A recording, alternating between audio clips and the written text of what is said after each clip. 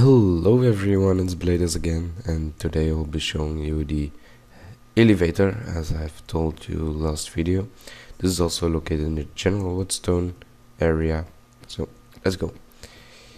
This is the elevator, it works with a conveyor belt, I'll step on one now. Why did it break? Have I done something wrong? Oh, no.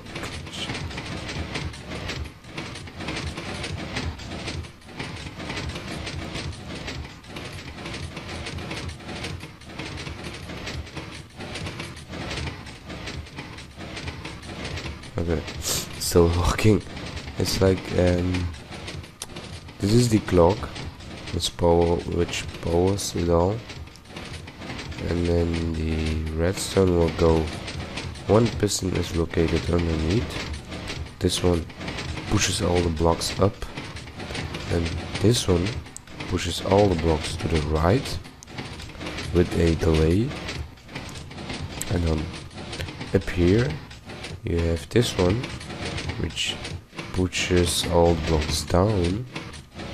And over here inside of this one is another one you can see over here which pushes the blocks to the right. And yeah that's how it works. So yeah now it's now it's normal again. I broke one. So uh, this is also powered by the power plant. I've explained you last time which um, uh, goes over this one. This is still easy to make. I guess it's just like um, using uh, redstone and normal pistons so now it must work. Let's let's wait for a a yeah. Okay, now we're going up. This is still a very slow elevator. Maybe I know a way to uh, speed it up, but I haven't tried it yet, so I will be trying it and when it's working I will post a new video uh, to tell you guys how you can speed it up.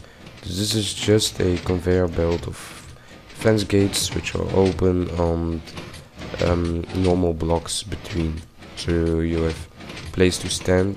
This one is just to fill up the conveyor belt. Otherwise you have one piston which is doing nothing.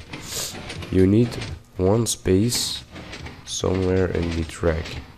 So now is this space um, I don't know where the space is. Yeah. You can see now there's a space, there's a space, there's a space. So one space needed and then it's just all the pistons which are pushing blocks round and round and round and round. That's basically it. Oh yeah, this is a redstone elevator. I think you know these ones. It's just pulls which turns this one on or off, on off, on off, on off, on off. On off till up here. And then um, I just connect this one to a repeater and this one not. So you have um, a lot of ticks here one more here. And and then this one is the fastest one and then this one.